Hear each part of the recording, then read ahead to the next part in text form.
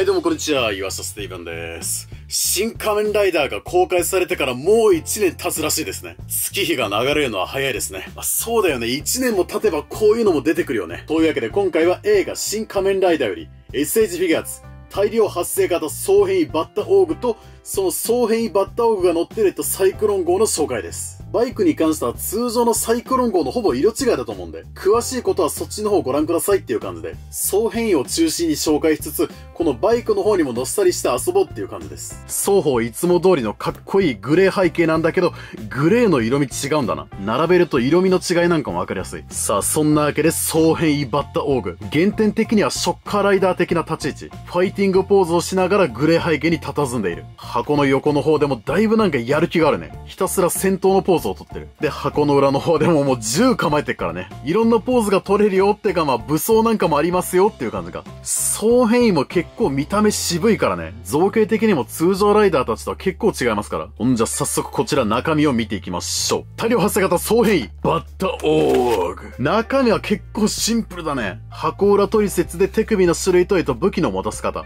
で、向こう側にはえっと角に注意っていうのとえっと破損に注意。箱裏取説で済むぐらいにはシンプル。ファンタジー感の一切ないシンプルな重火器。これまた僕は銃のことあんまり詳しくはないからね。なんだろうな、まあ連射力がが凄そうだったからまあマシンガンとかサブマシンガン的な。全体が濃いめのグレーでパールがかってるというかまあ若干の金属感があるね。グリップでとこれがなんだっけ安全装置。セーフティーを上げとかないと撃てないみたいなそういうやつ。なんとなくで喋ってるからめっちゃ突っ込み入るだろうな。で、これがあのマガジンってやつ。結構長いから相当弾数ありそう。で、後ろのところがね、なんかこれ肩につけるところだっけ安定させるためにここを体に密着させるみたいな。で、スコープがついていたなんか先端のレンズっぽいところが赤くなってるね。こういうギザギザのところに自分の好きなようにカスタマイズできるんでしょ。で、銃口、多分この一番長いやつがそうかな。一番下のやつはな、なんかライトかな。今度はシルバーっぽい塗装になってるね。これも照準だったりすんのかな。うわ、だいぶ細かく作られてるとしか言いようがない。そんぐらいガチガチの銃です。で、手首に関しては、えっと、武器の持ち手とパーの手。標準でついているのはもう握り拳。というだいぶシンプルな内容になっているこちらの方を詳しく見ていきましょう。よーし、そんじゃいきます。大量発生型、総変異、バッタオーグ。名前が長いと場面転換むず。そしてデザインのこのミリタリー感素晴らしいね。ライダーと比べるともう全然違うね。こっちの方が色数も多くてスーツもまあ結構フィットしている。逆にこっちの色味の少なさがだいぶ渋いね。暗いトンネルの中とか入ったらもう全然姿が見えなくなりそう。そんなわけでお顔の方。ベースは大体仮面ライダーと同じかな。赤い複眼で顔の全体がマットブラック。グリーンの大シグナルもあるし、触覚というか角というかアンテナもついてるもう全部言う。原点で言ったら桜島1号が近いのかな。まあ、桜島はクラッシャーもグリーンっぽかったけどね。どうだろう？通常ライダーと見比べてみて。大体同じだけど、あ、涙ラインの質感が違うね。こっちは目の下の涙ラインのところが真っ黒かつまあちょちょっと艶ありのフラットなんだけど、総変異の方はなんだろう脂肪加工かな？あれかな？あの網目状になってんのかな？こっちはマジックミラーのフィルム的な感じで光沢があるんだけど、たくさん作んなきゃいけないから予算の都合的な表現。そういう違いもあったりすんのかな？見比べるとちょっと違うもんだね。で、横から見ると耳がついていて、ビス止めっぽいところもあるんだけど小さめになってる。で、後頭部の方には、えっと、ショッカーマーク。バッタオーグではなくてショッカーのマークが入っている。隙間空いてるけど髪の毛とかは特にはみ出ていない。首にはもうブラックボディにすごい目立つ黄色のなんだろうマフラーかなこれも。布を首に巻いてるね。で、そんな頭部の可動をまっすぐ上向くのが、ぐっと首の付け根の方まで動いてまあまあ上は見れますね。上向いても特に素肌は見えない。うつむく可動がぐっあー、うつむくのはね、マフラーが引っかかってるからかな。全然下見れないね。で、横方向はグリッと、あ、若干引っかかりはあるけど、よいしょっと、横はまあ見れますね。よいしょっとって言ったけど。首周りの布造形いいな。ほんで、ボディ部分だけど、ここがまた物々しいね。胸筋と腹筋のようなアーマーがついてるんだけど、もう全部が全部中心のなんかパイプで繋がれてる。このパイプとベルトを使って、えっと、エネルギーを循環させてるらしい。循環用のパイプってことかな。この武骨な感じがまたいいんだよな。正中線から伸びていて、首の横まで繋がってる。ある意味、ファイズのフォトンストリームとかに近いかもな。ちょっとグリーンがかった胸部倉庫は横んところまでしっかりパイプ。いいね。こういうの好きよ。ライダーたちは胸部に可動があったんだけど、こっちは動かなそうだね。パイプとか繋がってるから下手に動かしてもあれか。肩にはバンドがついていて、ここのあの循環してるところに関してはなんか外付けっぽいんだよね。土台部分がガンメタになっていて、スーツのグレーとはまた違う色をしてるから、布スーツの上からこの装甲を被せてるんだろうなっていう。デザインのレイヤーなんかも見てわかりやすい。で、腕周りはもう普通に布。ダボっとシワが寄っていて、肩のところにはショッカーマーク。所属がわかりやすいように的な。で、そんな腕の角をまっすぐ上げると、ぐっと、あ、ちょっと引っかかるな。途中で引っかかるけど、こういう時は一旦下げてからもう一回持ち上げると、はいと、うまいこと隙間に入り込んで大体水平まで上がります。ここら辺構造に関してはまあ普通のライダーたちと同じかな。腕上げると脇腹のパイプが分かりやすいにはこんな風にバンドで止まってるんだ。たわみやすいところだからかバンドでしっかり止められてる。フィギュアになるとこういう細かいところも見れるからいいよな。で、肩は前後だったり、上下にちょびっと可動。で、肩と二の腕の間ではないけど、付け根のところにロールの可動はありますね。ほんで、肘の方には肘当てつけてるわ。プロテクターとそれを巻きつけるバンドがある。そんなしっかり守られてる肘の可動がぐんぐんと。肘はまあ可動そんな広くないね。布がダボっとしてるからまあ干渉しやすいんだな。で、腕の方も特にグローブをはめてるっていう感じでもないね。ただただ長袖と手袋。で、ぐるっと回って後ろ姿、ここら辺も武骨。すっきりしたこの背中とはもうまるで別物。一応コンバーターウィングというか羽っぽいのはついてるんだね。首の横だったり脇腹からパイプが伸びていて、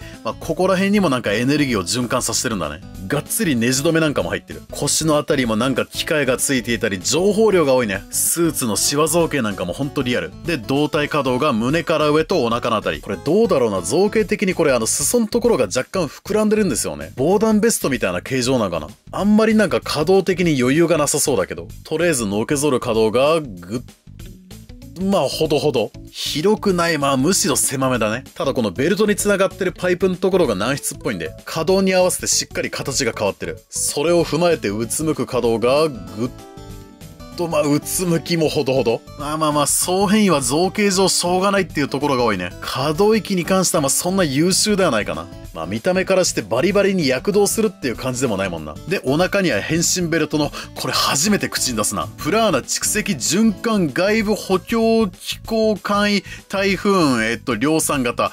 すんなり言えなかったな。つまり、プラーナ、えっと、蓄積と循環させるための簡易的な、えっと、外付けのベルトっていうことかな。新仮面ライダーもなんやかんやでいろんなベルト出てきたけど、まあ、これは出ないだろうね。パイプが完全にこのアーマーに繋がってるからね。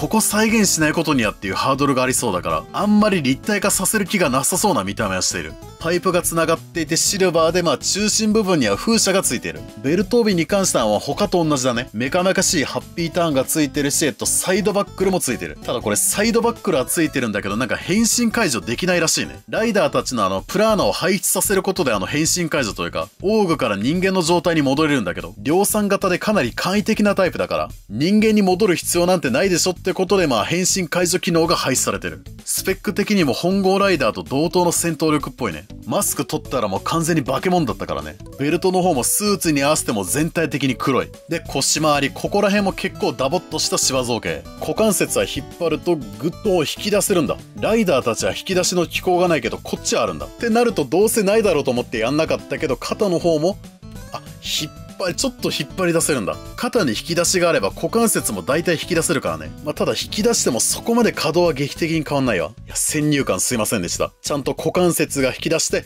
足を上げるとぐっといいね。今んところ一番の可動域。足は水平を超えて上がってくれます。ほんで、股割りの可動なんかも申し分なし。ももの付け根のところには傾けたり、ロールの可動があります。で、足の違いは右足の方に、えっと、拳銃をつけてる。小さい予備の拳銃がついてるんだけど、特にこれは外れないね。装備として拳銃を足に巻きつけています。上下のバンドに挟まれてるからここの中間部分がちょっと膨らんでるのがいいね。ちょっとした膨らみなんかもしっかり再現されてる。で、膝の方にはバッテン印がついた膝アーマー。ちょっと色が明るいというか緑がかってる。こっちも膝裏の方にバンドが巻かれていて、そんな膝の可動がぐんぐんと、膝アーマー標準だけどまあ限界にはいっていないかな。で、膝から下には武骨なブーツ。内側になんか軽くモールドが入ってる。で、足首は上下にはいい感じに可動があって、くるぶしももうちょっと傾く。つま先ももちろん曲がってすげえ曲がる。つま先だったか一番の可動域。トップクラスと言っても過言ではないくらい曲がりますね。で、最後、足の裏の方には細かいね、滑り止め造形。ドットだったり、ブロック状だったり、結構細かいね。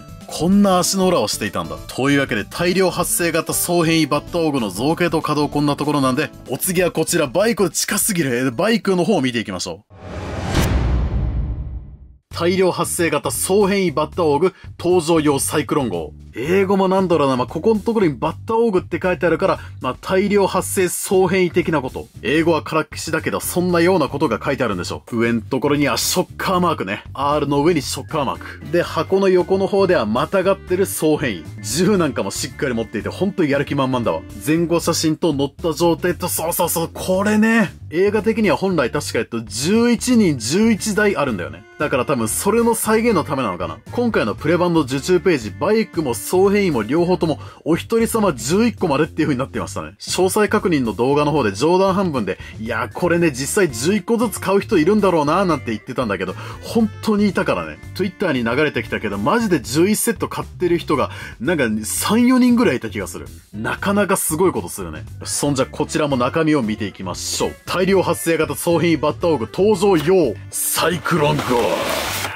本体で説明書の方にはこっちも箱裏パターン。3通りのディスプレイ方法。で、中身がこちらです。よいしょと。バイク本体と、総編用のハンドルの握り手と、ディスプレイ用のスタンドと、台座の接続パーツ。せっかくだからこれバイクの方も軽く見ていきましょう。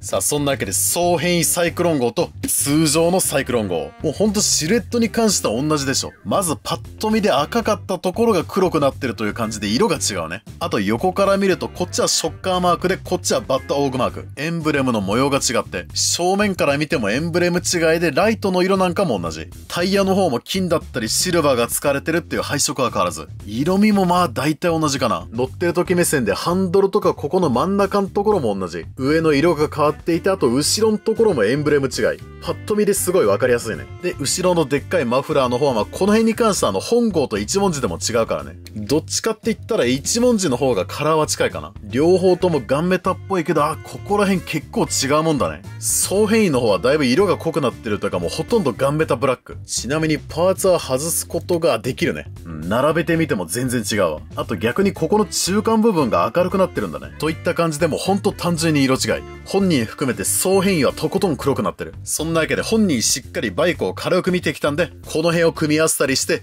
いろいろポーズをつけて遊んでいきましょう。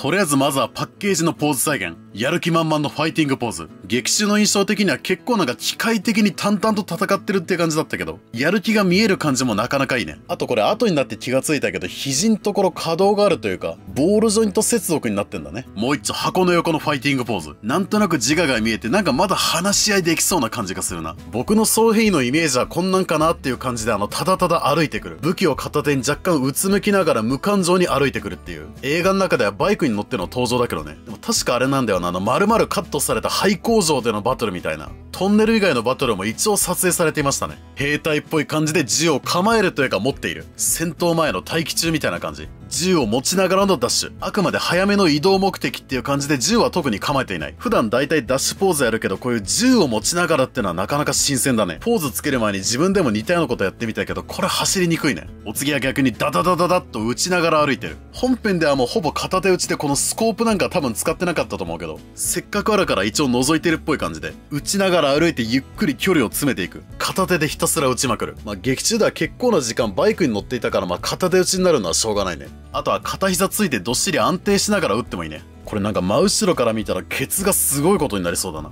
お次は肉弾戦でもシンプル全力パンチ。多分一切容赦してこないだろうから常に全力で殴ってくるだろうね。肉弾戦も非常にお似合いです。ほんで定番のハイキック。股関節に引き出しの可動があるからなかなか上がってくれますね。さらに片足で自立もできている。だいぶ足上がって綺麗に決まるね。そしてライダーキック。映画の中でもやっていたけど見返してみたらあの3人がかりぐらいでやってたね。3人でやって帰り討ちになってた。複数体買ってればその辺なんかも再現できるんだけど、残念ながら1個しか持ってないからまあ合成すればなんとかって感じかな。そしてこっからサイクロン号に登場。本編ではこれが11セット横一列にずらっと並んでるからね。バイクもカラーがとてもよく合ってる。ちゃんと片足ついて自立ができてる。逆側の足もまあなんとなくそれっぽいところに乗っけられてるかな。で、ウィリーしながら一斉射撃。他にもたくさんいる様子を想像してください。なんともバイクがすごい状態になって撃ちまくっていたけど、多分あれこのマフラー部分もなんとなくあの変化してるっぽかったから、ウィリーというかこの角度で飛んでいたんじゃないかな。どのみちバイクがすごい状態で、これがまた11台並んでいますからね。複数個買えばこのシーンも再現できます。お次は走行しながら撃ちまくる。ちょいちょい倒して減ってはいくんだけど、こんなんがたくさんいたら鬱陶しいね。本郷もサイクロン号でガードしながら戦っていたからね。そして個人的にはかなり印象に残ったシーンはこれね。本郷ライダーをタイヤで踏みつけてもめちゃくちゃ撃ちまくる。すげえ容赦ないな。あ、でもマスクめちゃくちゃ頑丈じゃんってのと、周りで走ってる奴ら何っていう。なかなか情報量が多いんだけど結構好きなシーンですね。だいぶインパクト強かったからこのシーンは再現しようと思っていた。せっかくだからライダーとバトル、ちょっとスチール写真っぽいかな。パンチをガードしつつ二人がちょうどよく見える角度。完全にどっかしらの掲載用だわ。足がよく上がる総変異に蹴られちゃったり、ライダーがやられてるポーズも取りつつ、しっかり目にライダーキックを食らって倒される。映像を見返してみた感じ、多分顔面が蹴られていたと思うんだよね。顔面にライダーキックを食らいながら吹っ飛んでいく。組み合わせればそんなポーズも作れますね。対戦相手としてはもう第0号がフィギュア2で出てはいるんだけど、戦闘員的なのもいるとより楽しいね。そういう意味ではショッカー戦闘員も欲しいな。公式 LINE もよろしくね。はい、というわけで今回は映画新仮面ライダーより SH フィギュアーズ大量発生型総変異バッタオーグと、そのバッタオーグ登場用のサイクロン号を同時に紹介してきましたが、いかがだったでしょうか？バイクの方もシンプルにエンブレムとカラー違い。まあでもやっぱりこのカラー変更によって印象も結構変わってくるからね。まさしく総変異のためのバイクだなっていう感じがした。で、バッタオーグ本体もなかなか良かったね。ライダーたちとは違うすごいミリタリーチックなデザイン。武骨なカラーリングにこのパイプだらけの装備。付属品でシンプルな銃なんかもついてきて。これもこれでなかなかデザイン好きなんですよね。総変異まで立体化してくれてほんとよかったわ。僕はさすがに11個ずつは買えなかったけど、複数体いたらより楽しいんだろうなっていう感じはしてきましたね。総変異もなかなかお気に入りの一品です。これでもうライダー系はもう大体出たのかな？ここまでやってくれたからもう何回も言ってるけどやっぱりオーグが欲しいね。他のオーグだったりショッカー戦闘員とか出しやすそうだけどね。公開から1年が超えてるけどまだまだ色々出てくるっぽいから、その辺のオーグなんかも楽しみにしておきましょう。というわけでここまでご視聴ありがとうございました。それでは、また。